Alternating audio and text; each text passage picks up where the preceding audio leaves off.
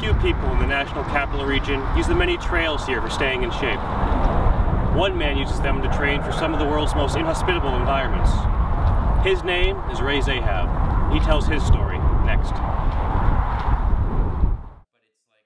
I have already come to terms with the fact that it's going to be incredibly difficult physically, uh, mentally. It's a huge challenge.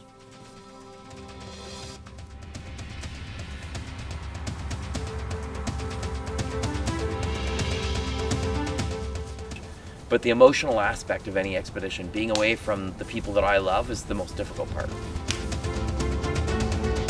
My name is Ray Zahab, and I'm an adventurer.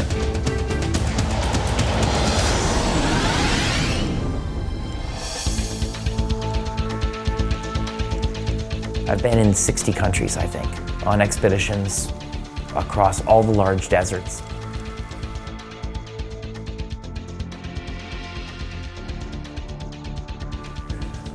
I passed out at one point on the Namib expedition. There's days when you think you're never going to get it done, but we do. I don't overthink. I'm not out there in 50 degree heat, dehydrated, thinking, oh my God, how am I going to get through this day? I'm thinking about the moment that I'm in, how the sand feels underneath my feet. There's no easy in an expedition. The beginning has its own set of challenges, and so does the end. Keep myself going when I'm on expedition, thinking about life at home, living every day at home one step at a time.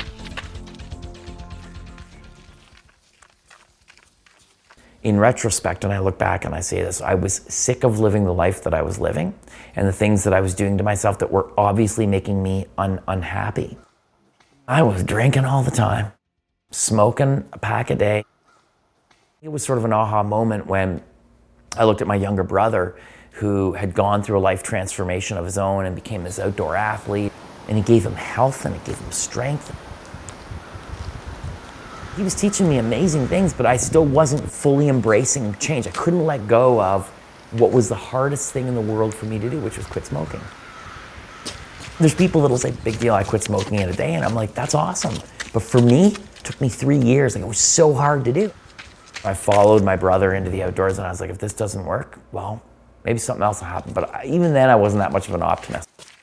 Through the things that my brother was teaching me, I completely quit the smoking. I do my very first running race, which is a 100 miler, and I win it. That sort of planted the seeds of confidence and a shift in who I saw and how I saw myself. But running, I always say it's my greatest teacher. It's taken me to the next level. Running taught me to apply and try these different things. And then, of course, with running, improving, and changing, so did my life. I love the Canadian Arctic. I love the look of it. It's just an extraordinary place in all seasons. And the fact that it's Canada makes it that much more amazing. Very cold. Yeah, you think so? A little bit frosty. But look at beautiful that. day today. Well, when I wake up first thing in the morning on an Arctic expedition and unzip the tent and look outside and it's 50 below, I first of all compel myself to look around at where I am. And I ask myself the question, is there anywhere else you'd rather be?